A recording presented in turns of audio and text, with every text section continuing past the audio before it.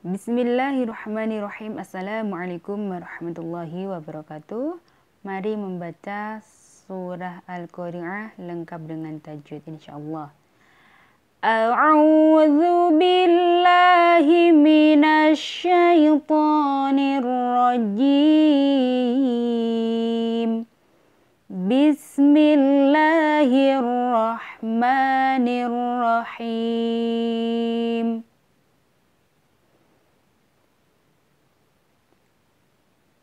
Bismil di sini lafaz Allah dibaca tebal lafaz tipis dibaca tipis karena sebelum lafaz Allah berbaris kasroh. Di sini ada kasroh. Bismillahir alif lam alif lam syamsiah karena alif lamnya tidak ada tanda baca dan setiap alif lam syamsiah pasti diikuti huruf bertasdid.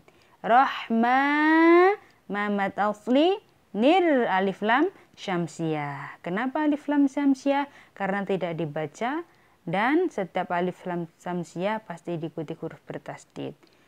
Huruf syamsiahnya yang mana? Yaitu ro ya.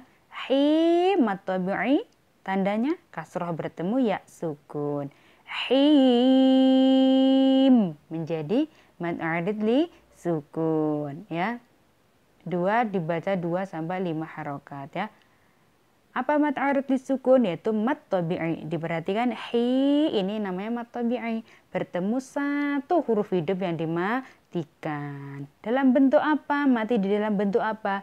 Di dalam bentuk bu bunyi, tidak di dalam tulisan. Kemudian ayat satu Al-Qadi'ah. Diperhatikan. Al-Qadi'ah. Al, lamnya dibaca jelas yaitu lam hukum lam mati yaitu apa? Idhar koma riyah. Ya idhar koma riyah. Kenapa? Karena lamnya dibaca jelas dan tidak boleh ditahan dan juga tidak boleh memantul. Lamnya jelas namanya idhar koma riyah. Yaitu lam sukun bertemu kof ya. Al ko matobi'i tandanya fatah bertemu a alif. Ri ri nya dibaca tebal apa tipis? Dibaca ti tipis. Kenapa? Karena roknya berbaris ka kasroh Al-Qadi'ah. Ini namanya tak apa? Tak marbuto. Jika dihentikan berubah bunyi menjadi ha ya. Mm Ini wakaf apa? Yang hijau ini, depannya tak ini, depannya tak marbuto ini wakaf apa? Namanya wakaf adamul wakaf. Artinya tidak boleh berhenti. Kenapa di sini boleh berhenti? Karena berada di akhir a ayat. Boleh disambung nggak sama ayat kedua? Insya Allah bisa. Seperti ini kalau disambung ya. Al-qadi'atu mal-qadi'ah. Diperhatikan. Al-qadi'atu mal-qadi'ah. Perhatikan ayat 2. Ma mat tabi'i fatah bertemu alif. Ya, diperhatikan. Di sini mat tabi'i tidak boleh dibaca panjang karena bertemu huruf mati atau apa hamzah wal ya. Karena bertemu huruf ma mati yaitu alif lam komariah. Di sini alif lam apa? Alif lam komariah. Kenapa? Karena lamnya ada tanda sukun. Kemudian karena alif lam bertemu huruf komariah yaitu kof. Ko itu mat tabi'i fatah bertemu alif ri dibaca tebal apa tipis dibaca tarqiq dibaca tipis karena apa berbaris kasroh al qadi'ah taknya menjadi Tak marbutoh jika dihentikan menjadi berbunyi ha. Hmm, ini jim wakaf apa? Wakaf ja jais. Kemudian ayat 3. Wa ma adraka mal qadi'ah. Wa ma namanya majais mun fasil. Cara bacanya 2 sampai 5 harokat. Apa namanya mat Jais munfasil, mad jais munfasil adalah mad tabi'i bertemu alif. Ini aja sudah cukup, tapi juga bisa karena mad tabi'i bertemu hamzah di lain kali kalimat. Ya. Ad, adanya menjadi kol-kolah apa? Kol-kolah su, suhra, kol kecil. Ro, dibaca tebal apa tipis? Tebal dan menjadi mad asli. Wa ma adraka mal. Di sini perhatikan ma di sini mat tabi'i tapi tidak boleh dibaca panjang karena bertemu alif lam koma riyah di sini ya. Al mal qadi'ah. Di sini ada wakof. Kof sama lam disambung sama ya. Namanya al waqfu aula yaitu berhenti lebih utama ya. Kemudian ayat 4 Yauma yakunun nasu kal farashil mabthus. Ulang lagi. Yauma yakunun nasu kal farashil mabthus. Yau, yau diperhatikan ya fathah ya, kemudian di depannya ya ada wawu sukun. Jadi yau, yau namakan huruf lin, harfulin ya. Yau. Kenapa? Karena ada fatah bertemu wawu su, sukun. Kalau dihentikan yaum menjadi mat. Mat yaitu bacaan panjang. Huruf lin kalau bertemu satu huruf hidup yang dimatikan dinamakan madlin. Kalau belum bertemu sama huruf hidup yang dimatikan tidak boleh menjadi mat. Namanya tetap huruf lin ya, tidak boleh menjadi mat ya. Yau huruf lin. Yauma yaku ku mat tabi'i domah bertemu wawu sukun. Yakunun di sini alif lam apa? Alif lam syamsiah karena alif lamnya tidak ada tanda baca. Dan alif lam yang bertemu huruf syamsiah yaitu nun. Iya.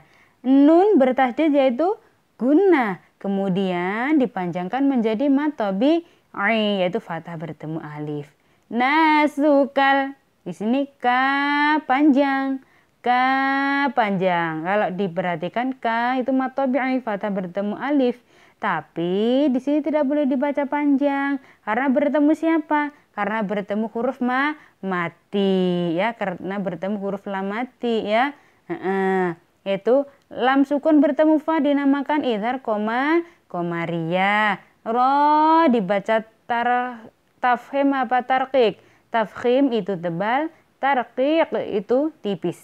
Dibaca tafkhim apa tarqiq? Dibaca tar tafhim yaitu dibaca tebal. Ro berbaris fathah ya. Ro ro menjadi panjang itu mat tabi'i. Cara bacanya dua harokat yaitu fathah bertemu a alif.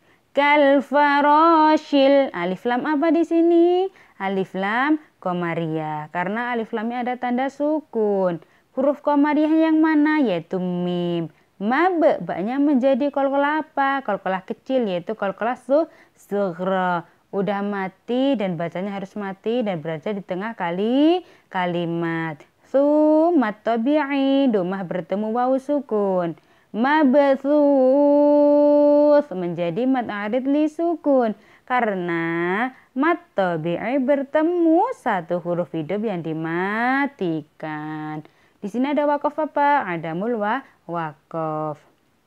Ayat 5. Watakunul jibalu kal'ihnil manfush.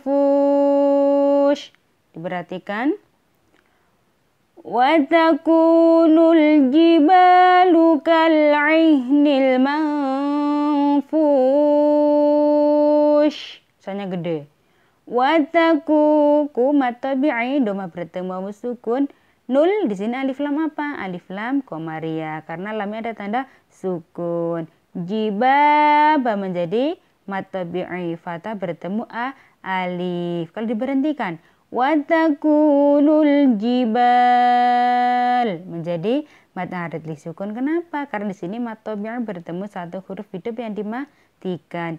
Watakunul jibalu kal Adakah mat arid sukun di sini? Tidak ada. Adanya mat. Karena apa? Karena lamnya di dibaca ya. Watakunul jibalu kal ihnil manfush Mang ya warna hijau di sini nun mati bertemu fa dibaca i ikhfa. Cara bacanya bagaimana? Disamarkan, ditahan dua harakat. fu fu mat tabi'i doma bertemu wawu sukun. Mangfush mat arid li sukun. Di sini wakaf apa di sini yang merah ini depannya shin yaitu al waqfu aula berhenti lebih u utama. Kemudian ayat 6 amma man fakulat mawazinuh. Perhatikan amma man fakulat mawazinuh Fa'amma di sini fa-nya perlu dibaca panjang karena apa? Karena alifnya hidup. Fa'am langsung masuk ke mim yang warna pink diperhatikan yaitu ditahan ya. Namanya guna. Fa'amma mimnya gun guna. Setelah didengungkan dipanjangkan menjadi mat tabi'i. Mangsa nun sukun bertemu sa bertemu sa yaitu ikhfa ya.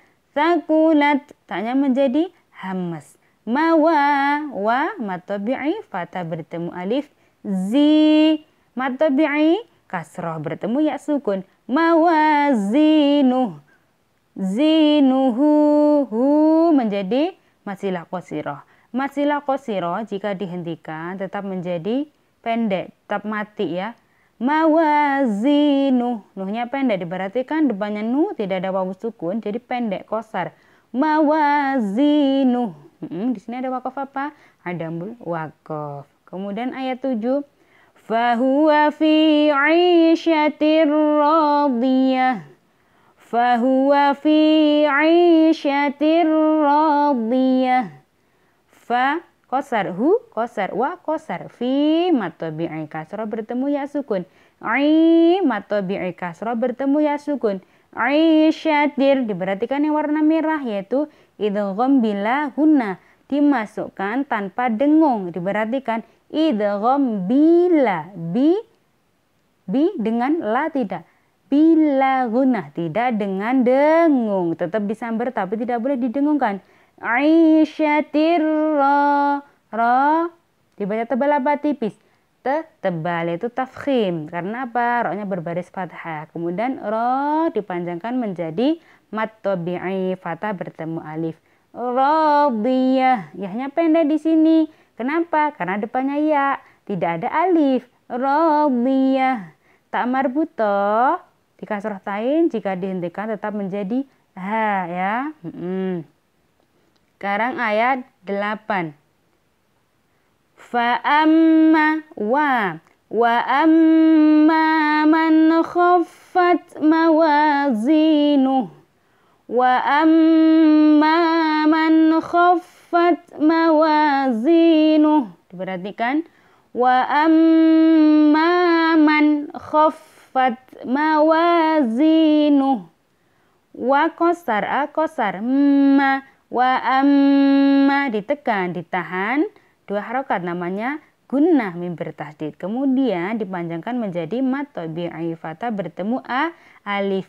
Man kho diperhatikan tulisannya hitam bacanya jelas. Namakan id idhar hal idhar halki idhar tenggorokan. Karena hurufnya berasal dari tenggorokan. Itu nun mati bertemu kho man kho tidak boleh man kho tidak boleh. Seperti ada spasi cara membacanya ya n-nya harus jelas. Wa amma man khaffat masuk ke fa fa-nya ditekan. Khaffat tanya menjadi hamas. Mawa matabi'i fatah bertemu alif zi matabi'i mawazinuh diperhatikan di sini hak dombernya. Domahnya kebalik ya namanya masilah kosiroh tapi dihentikan tetap menjadi mati disukun mati ya tetap menjadi ha mawazinuh hmm. fa ummuhu hawiyah Fa ummuhu hawiyah. Fa-nya pendek di sini karena apa? U-nya hidup. Fa um masuk ke mim yaitu mim bertahdid temakan gun guna. Huruf guna ada dua yaitu mim bertahdid dan nun bertahdid saja. Fa ummuhu hu masihlah qasira cara bacanya dua harokat. Fa ummuhu ha matabi'i fatah bertemu alif. Wi kosar ya kosar. Tak marbutoh jika dihentikan menjadi ha. Fa ummuhu hawiyah. Kemudian ayat 10 Wa ma adraka ma hiya ma adraka ma hiya? Wa kosar namanya majjaismun fasil namanya majjaismun fasil yaitu matobi'i bertemu hamzah di lain kalimat ya. Cara bacanya berapa? 2 sampai 5 harokat ya. Ad dalnya menjadi kolkola sugra ya. Kolkola kecil. Wa ma adro jadi lurus tidak boleh ad ya karena dalnya tidak ada tasdid. Wa ma adro wa ma adro ronya tebal tafkhim kemudian dipanjangkan menjadi mat asli. Adroka hanya pendek. Kama ma matobi'i fada bertemu alif. Wa ma adroka ma hiya. Di sini wakaf apa? Al waqfu aula disambung. Apa? Al waqfu aula. Berhenti lebih utama. Kemudian ayat 11 narun hamiyah. Narun hamiyah diperhatikan. Na mad tabi'i fatah bertemu alif run ha domah tain bertemu ha yaitu idhar idhar halki narun ha bunyi n-nya jelas Gak boleh narun ha, tidak boleh narun ha seperti ada spasi ya karena jelas huruf n-nya ya. Narun ha hanya mat tabi'i fatah bertemu alif. Narun hamiyah pendek. Mi pendek di sini hanya hidup. Hamiyah diperhatikan tamar buto jika dihentikan menjadi ha ya. Entah tamar buto itu berbaris domah tain, kasrotain atau fathah tain jika dihentikan tetap menjadi ha ya. Ini wakaf apa di sini? Kok ada ainnya di sini yaitu ruku' yaitu akhir cerita ya. Ulang lagi. Bismillahirrahmanirrahim. Al-Qadi'ah mal وما أدراك ما القارعة يوم يكون الناس كالفراش المبثوث وتكون الجبال كالعهن المنفوش فأما من ثقلت موازينه فهو في عيشة راضية فهو في عيشة راضية. وأما من خفت موازينه فأمه هاوية. وما أدراك ما هي؟ نار حامية. صدق الله العظيم.